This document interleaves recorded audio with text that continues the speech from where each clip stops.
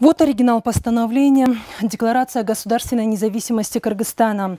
Согласно этому историческому акту, республика была объявлена независимым, суверенным, демократическим государством. Сейчас подлинник занимает почетное место в Центральном госархиве страны. Это емкий, но содержательный документ в несколько листов. После он лег в основу Конституции. Восторженные аплодисменты и бурные овации не утихали на протяжении 10-15 минут. Эмоции переполняли всех. Так, в исторический день 31 августа 1991 года не только 350 депутатов легендарного парламента, но и весь народ ликовали по поводу принятия декларации. Сам процесс, говорят очевидцы, был непростым. Но главное, что страна, пройдя долгий и тернистый путь, провозгласила себя независимой, без переворотов и революций мирным путем. Я был экспертом всех этих текстов, русского, кыргызского текста. По-моему, как сели, ночью не спали, и на третий день уже принесли декларацию готовенькую. Тут просто надо знать историю своего народа. Оказывается, э, это самое независимое государство было последний раз при Манасе, это 9-10 век. Вот ровно тысячу лет кыргызы были под пятой, то под одной, под другой. И вдруг, представляете, это вдруг такое великое счастье.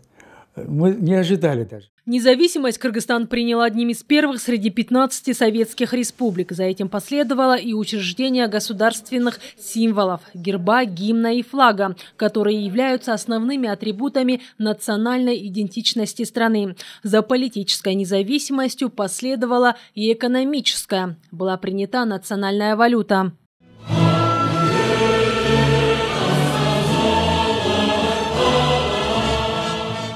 Самый раз вспомнить историю флага. Смена кыргызского стяга происходила четырежды. В 1937 году, 1952 и 1953 и последний раз в 1992 году. Авторами являются Айдарбеков, Джайчебеков, Иптаров, Матаев и Сыдыков. По их концепции, красная одноцветность флага символизирует доблесть и смелость. Тундук, расположенный в центре флага, символ человеческой жизни и счастливой семьи. Идущие же от солнца лучи олицетворяют 40 родов кыргызов, а их золотистый цвет означает счастье и богатство. Также известно, что красный цвет был цветом флага Манаса.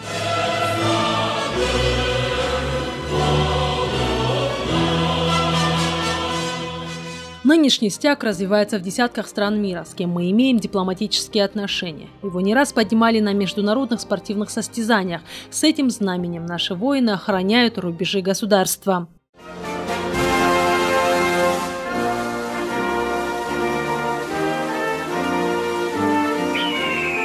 Задействующий образец герба среди двух тысяч вариантов 14 января 1994 года проголосовали 284 народных избранника легендарного парламента из 350. Госсимвол отражает единство, исторические, духовные и нравственные ценности народа, его стремление к светлому будущему. Помещенный в самом центре герба белый сокол великодушного Манаса с распростертыми крыльями защищает наш народ, родину, родину, нашу государственность, призывает беречь как ока, единство народа и согласие в обществе.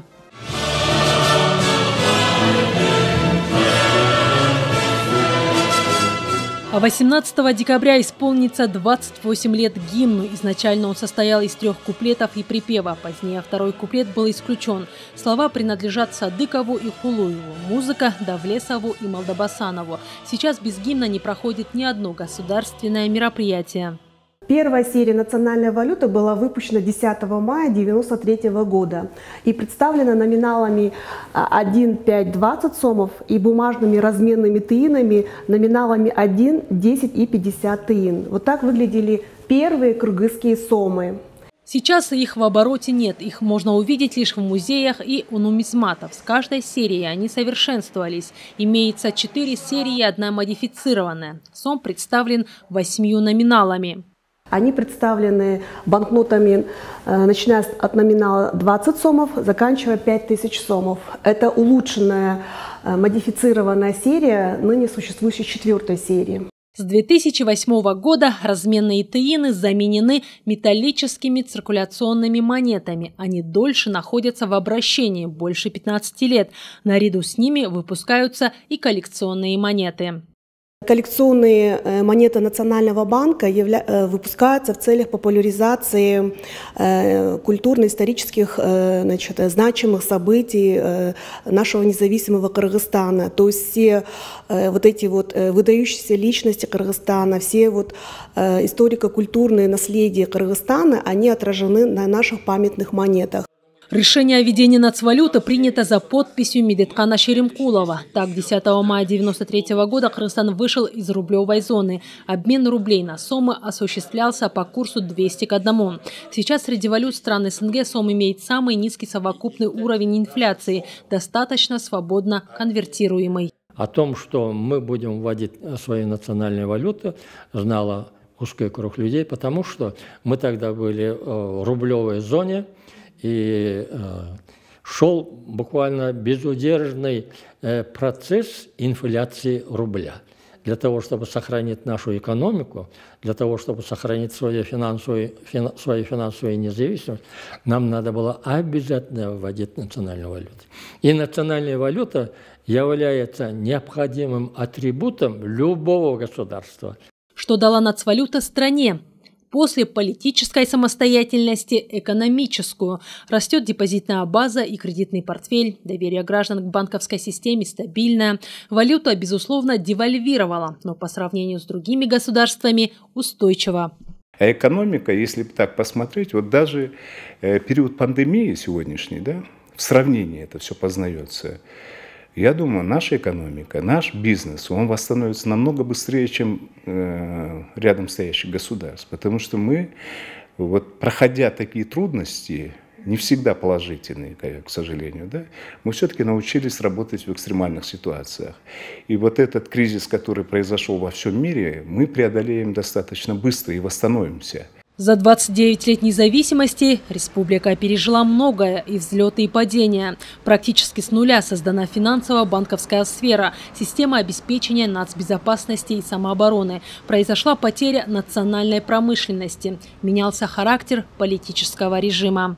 Дальнейшее свое развитие уже политическая система страны получила а, в 2005-2010 годах. Это такие ключевые годы для политической истории Кыргызской республики, и э, все это вылилось в принятие уже а, новых конституций, которые уже меняли конфигурацию взаимоотношений между а, президентом, парламентом, правительством Кыргызской республики. И сейчас то, что мы наблюдаем, мы воспринимаем как данность и часто пренебрегаем теми свободами, которыми мы сегодня обладаем. В мире есть много народов, у которых нет своего государства. Их более двух тысяч, в 10 раз меньше сформированных национальных государств. Независимость Кыргызстана же дар судьбы. Территория страны является целостной и неделимой. Республика подчеркивает свою приверженность общепризнанным принципам международного права. А в руках подрастающего поколения хранить суверенное и правовое государство. Более 30 государств есть, у которых нет государственности. Ну, вроде бы они самостоятельные государства, но они не признаны другими государствами и международными организациями. Например, э, есть Республика Северный Кипр, турецкая. Даже по многим параметрам положение лучше нашей республики. Но они не признаны текущем году, 31 августа, в празднование Дня независимости внесены коррективы. Торжественная часть пройдет на площади Алато. С учетом эпидситуации мероприятие пройдет в онлайн-формате. Будет вестись прямая трансляция на республиканских телеканалах. Массовые мероприятия и народные гуляния отменены. В 10 вечера состоится праздничный салют. Демира Базарбаева, Руслан Сабатаров, Алато, 24. Итоги недели.